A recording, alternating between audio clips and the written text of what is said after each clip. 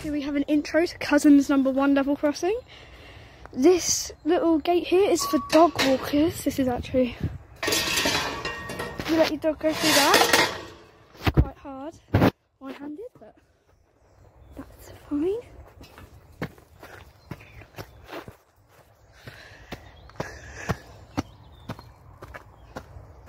Cousins number one level crossings there. Sorry, number two.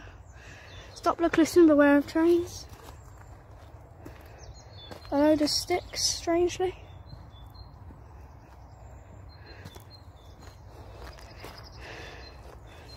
Culvert over there. Stop, look, listen signs again. That. Dog gate. And that's Cousins number one level crossing. Bye guys, see you my next video.